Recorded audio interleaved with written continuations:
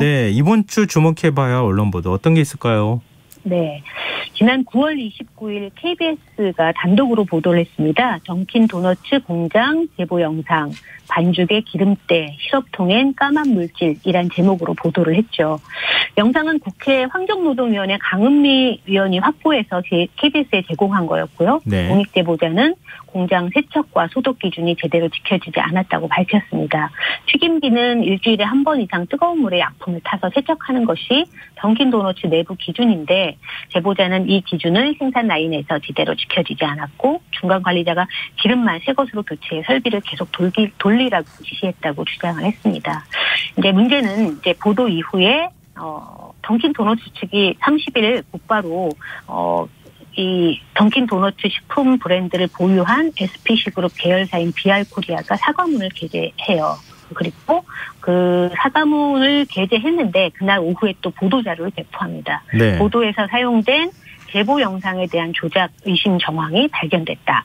공장 내 폐쇄회로 CCTV를 확인한 결과 한 현장 직원이 아무도 없는 라인에서 소형 카메라를 사용해 몰래 촬영하는 모습이 발견됐다고 밝혔습니다.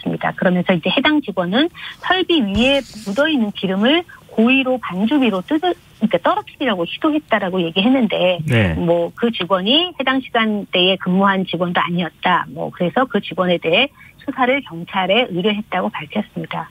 사측은 그러면서 제보자가 노조 간부라는 사실도 언론에 공개했는데요. 이후 언론 보도는 도, 도넛 공장 비위생 실태가 아닌 제보자 신원에 초점을 맞춰줬고 오늘은 이 보도 과정에서 나타난 문제점 문제점에 대해서 주목해 보려고 합니다.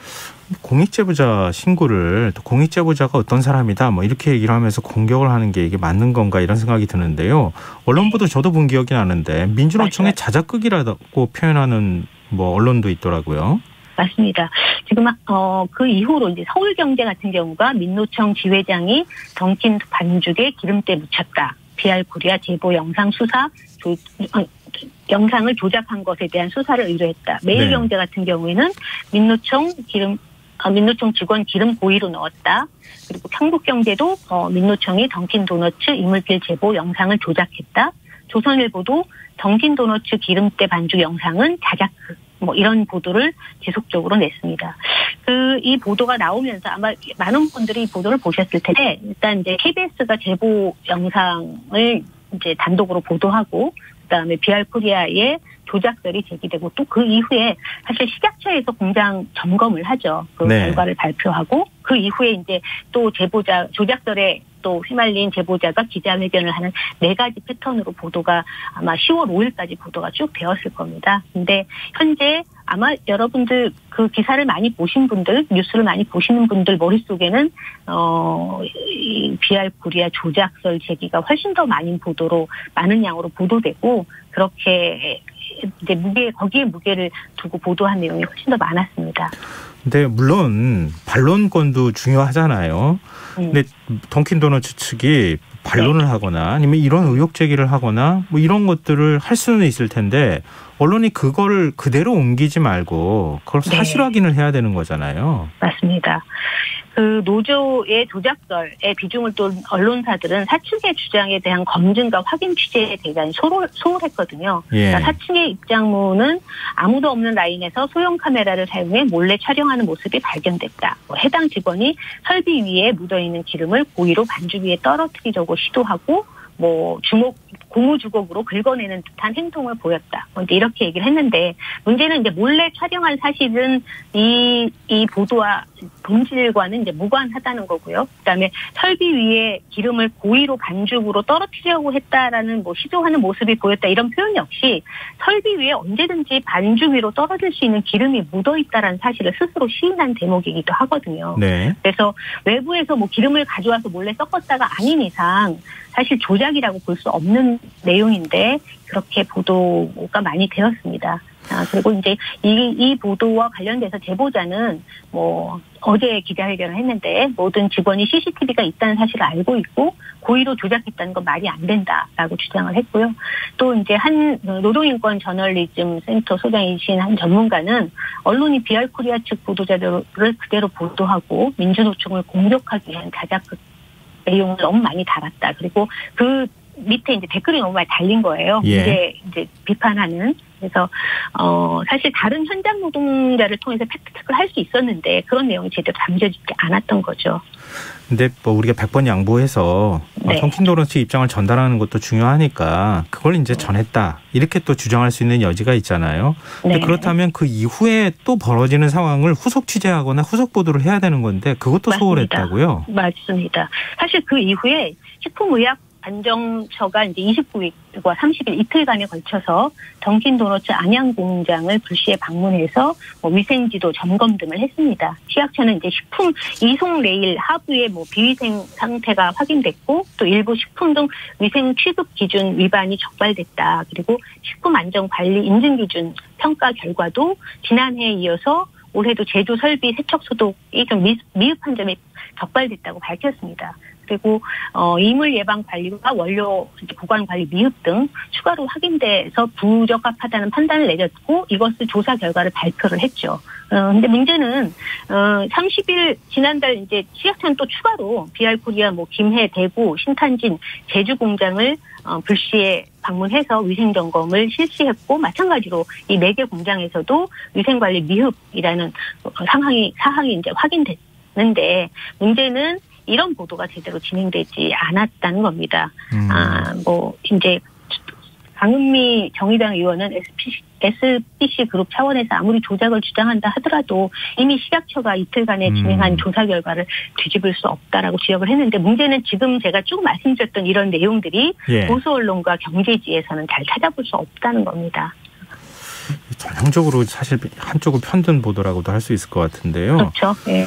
근데 지금 이제 그 앞서 공익 신고자 어, 네. 말씀도 하셨지만 공익 신고를 한 제보자의 신상이 그대로 드러났다는 거 이것도 좀 생각해봐야 될 지점이 아닐까요? 맞습니다. 그 해당 CCTV 이제 영상을 그대로 이제 공개를 했, 어요그 했고 그 내용을 또 이제 말- 아까 말씀드렸던 쭉 보수 언론이나 경제지에서는 그대로 보도를 했는데 사실 그 식품위생법 위반 행위는 어 공익 침해 행위고요. 그리고 또 이 문제 이, 이 문제에 대해서 이제 뭐 이 사실을 신고, 진정, 뭐 제보, 고소를 고발하는 사람을 또 공익 신고자라고 볼 수 있습니다. 그리고 또 이 공익 신고자가 공익 침해 행위에 대한 이제 수사 단서를 에, 적, 적법한 기관에 에, 신고를 했을 때 네. 공익 신고자 라고 볼 수 있는데 네. 이에 대한 어떤 뭐 그 신분을 갖다 너무 노출시킨다든지 제대로 보호하지 않는다라든지 언론이 이거는 굉장히 큰 문제라고 보습니다. 지난번에도 한번 얘기가 나왔는데요. 공익 어, 공익 신고자에 대해서 그 사람이 누군지 알려주거나 아니면은 뭐 보도하면 안 되는데 이를 위반했을 때 사실 공익 신고법에 의해서 징역 5년 이하 또는 5천만 원 이하의 벌금이 처해지고 있는 게 지금 법률에 정해진 상태거든요. 음. 근데 언론이 이 부분을 굉장히 소홀히 다루고 있고 이건 굉장히 무거운 문제라고 보고 있습니다. 근데 또 일각에서는 그렇게 얘기해요. 모든 제보자는 다 공익 신고자라고 할 수는 할 수는 없는 거 아니냐. 음, 어, 그렇죠. 그러니까 근데 보도할 수 예. 있는 거 아니냐. 뭐 이런 예. 건데요. 예.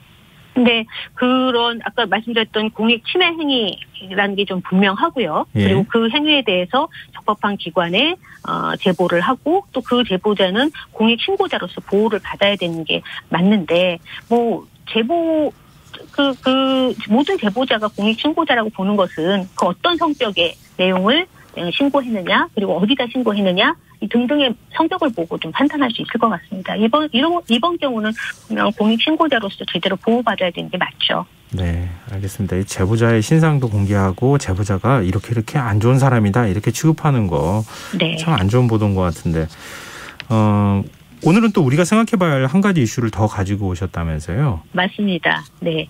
어, 최근에 그, 어, CNN 안티 페미니즘 보도라고 이제 저희가 좀 가지고 왔는데요. 네, 미국 CNN 방송이 집게 손 모양에 대해서 젊은 남성 사이에 팽배한 안티 페미니즘 문제가 있다. 한국에서는. 그래서 음, 그것이 이제 지난 3일에 보도가 됐습니다. 근데 보도의 내용이 왜 한국 기업은 손 제스처에 불안해 하나라는 제목 의 기사에서 이같이 보도를 했습니다. 네, 뭐 여성신문 같은 경우가 이제 CNN에 주목한 집게 손가락, 한국의 안티, 안티페미니즘 때문 뭐 등등으로 이제 보도를 했는데 문제는 예, 이것을 연합뉴스가 CNN 보도를 번역하는 과정에서 어, CNN은 어, 왜 한국 기업들이 손 제스처에 불안해 하나라는 제목의 서울발 기사에서 남성 혐오와 관련된 논란을 전하면서 예. 한국에서 수년 동안 젠더 전쟁이 벌어지고 있고 이 전쟁이 최근 극한 상태가 되고 있다라고 보도를 한 거죠.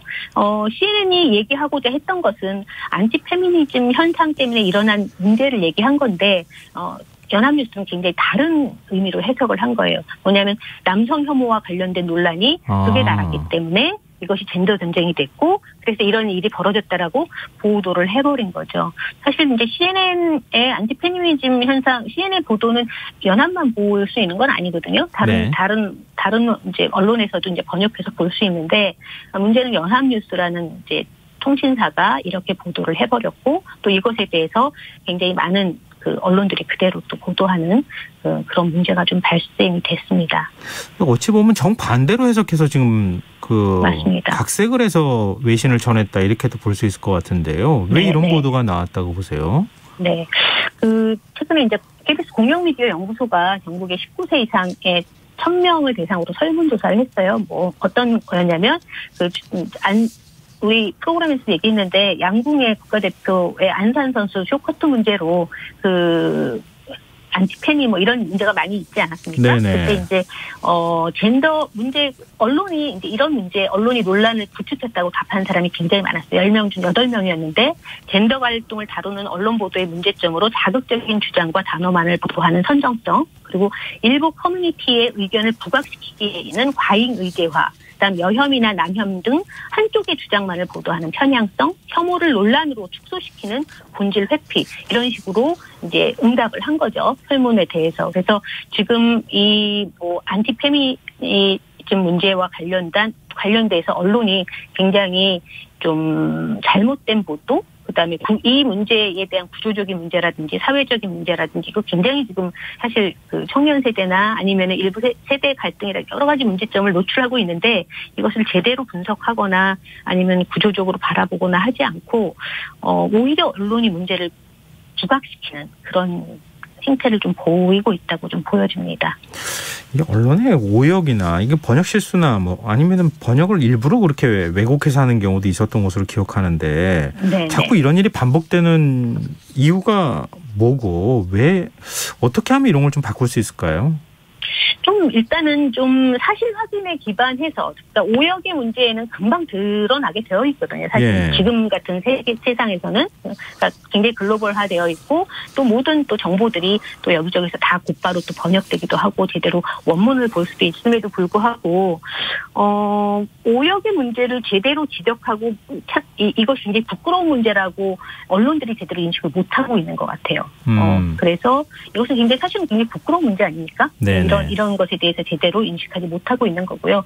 또 이제 모든 어, 언론 모든 어, 보도에서 이제 번역에서 문제가 되기보다는 딱히 또 어떤 이슈가 될 만한 그런 보도에 있어서 좀 잘못된 보도를 한다든지 네. 본인들의 의도가 된 보도를 한다든지 오역을 한다든지 그리고 또 그런 보도들이 또 얼른 퍼져서 또 조회수가 올라간다든지 이런 문제들이 계속 발생하고 있는 것 같습니다. 아, 참 언론이 바꿔야 될 부분이 많네요. 네 오늘 말씀 여기까지 듣겠습니다. 고맙습니다.